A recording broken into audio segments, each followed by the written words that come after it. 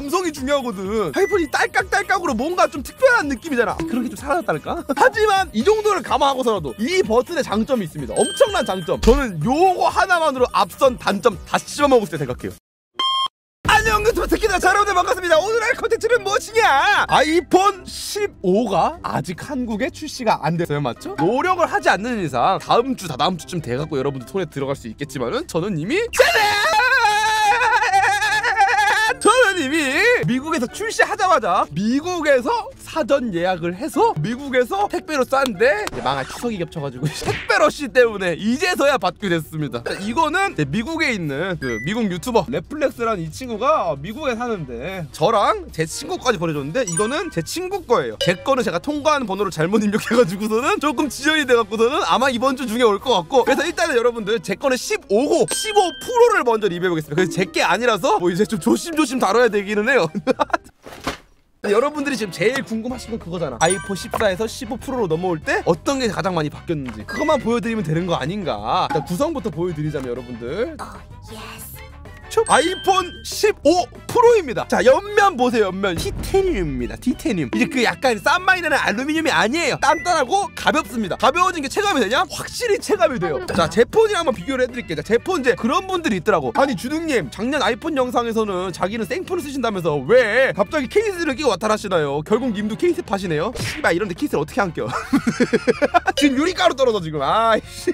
저의 아이폰 14 탕후루 에디션과 비교를 좀 해보도록 할게요. 애플키 안 들었냐고요? 이번엔 들었어요. 그래서 왜, 왜 이렇게 가볍냐 이거? 역체감이 오지는데? 이거 들다가 이거 드니까 개 가벼운데? 자 아까도 얘기했다시피 원래 이 옆면이 스테인리스예요. 스테인리스라서 이제 이게 맨들맨들 약간 유광에 약간 지문 존나 잘 묻고 각진 거 보이시죠? 근데 이제 이 친구는 아까 말씀드렸다시피 티타늄이라 무광입니다 일단은. 어떻게 보면 이게 좀 더 고급스러운 소재라고 할 수도 있죠. 고급스러워 보이기도 하고요. 좀 더 가볍고 좀 더 튼튼해갖고 비싼 소재라고 하긴 하더라고요. 근데 두 개를 같이 들어보면은 확실히 얘가 가벼워. 두 개 비교해주세요. 속 때문에 그런지 모르겠지만 여러분들 15가 좀 더 얇은 느낌이 없잖아 드는데. 이건 제가 수치를 안 재봐서 모르겠네요. 제가 전문 IT 유튜버가 아니라서. 그런 전문적인 수치 관련된 거 보실 거면 이제 이써님 채널 가시고. 저는 그냥 이제 일반인이 느끼기에 어떤지만 약간 전 알려드리면 되는 거잖아요 솔직히 그 다음 마음에 드는 게 뭐냐면은 화면이 여러분 느끼신지 모르겠지만 넓어졌어요. 보여요? 베젤이 얇아졌고 화면이 넓어졌어. 이것도 은근 체감이 심해. 화면이 조금 더 시원시원한 거 느껴지잖아요? 근데 이 카메라 보면 잘 모르는데 눈으로 보지? 확실히 넓어. 약간 그 느낌이야. 아파트 확장 공사한 느낌. 베란다 그 뚫어버린 느낌. 약간 속 시원해. 평수는 똑같은데 아파트 확장 공사. 실평수가 높아진. 약간 그런 느낌의 아이폰. 뭐가 바뀌었냐? 가장 큰 변화점 있죠. 뭐냐? 똥구녕이 바뀌었습니다. 사실 아이폰 원래 기존에 쓰는 사람들은 어 이거 뭐 바뀌는 게 의미가 있나? 나 집에 아이폰 충전기 많은데? 할 수 있는데? 이게 있으면 좋은 점이 뭐냐? 식당 가고 충전할 눈치 안 봐도 돼. 우리 애플 유저들 그동안에 그 서러움 아시잖아요. 집에서는 어차피 내 집이니까 내 마음대로 충전하지. 근데 이제 그 서러움. 저 핸드폰 충전 돼요? 아네 고객님 돼요. 아이폰인데 돼요? 이 서러움 알잖아 이거. 이제 그지를 안 해도 된다. 또 문제가 뭐냐? 요즘은 다 C타입 쓰잖아요. C타입 충전기 개 많은데 아이폰 충전기는 딱 하나 있어 만약에. 핸드폰 배터리 없어. 지금 거실에는 C타입이 있는데 아이폰 충전기 안방에 있어. 안방까지 기어코 가갖고서는 또 그거 뽑아와야 돼. 그러다가 케이블 망가지기라도 해봐. 그럼 어떻게 또 비싼 돈 주고 아이폰 정품 사야 된단 말이야. 열받잖아. 하지만은 이제 똥구멍이 바뀌어갖고서는 이 똥구멍으로 충전이 가능하다 C타입으로. 근데 이게 또 단점이 있죠? 뭐냐? 똑같은 에어팟은 아직까지는 이제 라이트닝으로 충전을 해야 된다. 고마워요 여러분 자 그래서 애플에서 또 이제 새로운 케이블을 줬습니다. 자 이거 C타입 케이블. 자 여러분들. C타입이죠? 이 케이블이 또 장점이 뭐냐면은 패브릭으로 바뀌었어. 이게 좀 더 튼튼하다 그러더라고요. 가자! 자그 다음! 여러분들이 지금 제일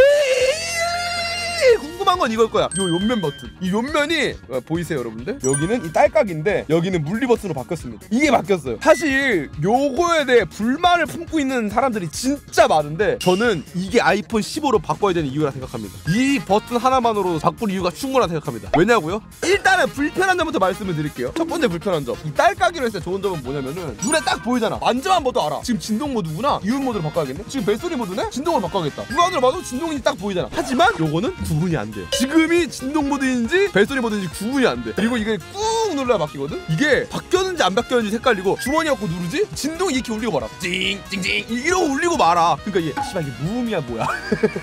설정에 동작 버튼 탭이 추가가 돼가지고 설정을 할 수 있어. 이 버튼을 길게 누름으로써 뭘 할 수 있는지 손쉬운 사용을 킬지 아니면은 손전등을 킬지 아니면은 카메라를 킬지 집중 모드를 할지 무음 모드를 할지 할 수 있는데 일단 기본 설정값은 무음 모드거든요. 자. 길게 누르면은 어 소리가 안 들리죠? 또르롱. 하고 진동이 약하게 울려. 또 길게 누르면은 똑 하고 진동이 살게 울려. 그러면은 유음으로 바뀐 거야. 이게 구분이 안돼. 한번 화면 켜봐야 돼. 그게 일단 열받아.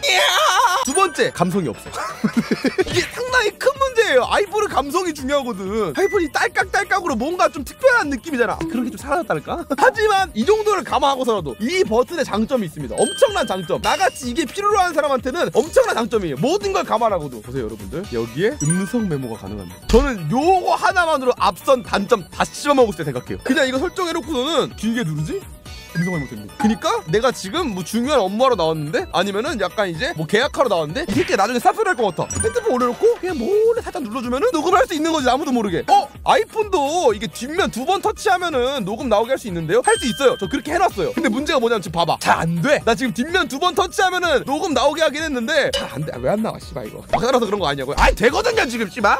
되는데 문제가 뭐냐? 이게 잘못해서 켜진 경우가 진짜 많고 그리고 켰는데 오류가 나고 녹음이 안 되는 경우가 진짜 많아. 그리고 가장 큰 문제가 뭐냐? 녹음 중인데 화면을 껐다. 존나 티나. 이게 지금 잠금 화면이야. 이거를 가릴 수 있는 방법이 나는 찾아봤는데 없었거든요. 근데 이 물리 버튼으로 녹음을 하면은 이러고 다이나믹 열리는데 조용히 들어갑니다. 티가 많이 안 나요. 잠깐만 그럼 한번 실험을 해보자. 그냥 음성 메모에 들어가서 그냥 녹음을 누른 다음에 그 다음에 그냥 잠금을 해볼게요. 아니야.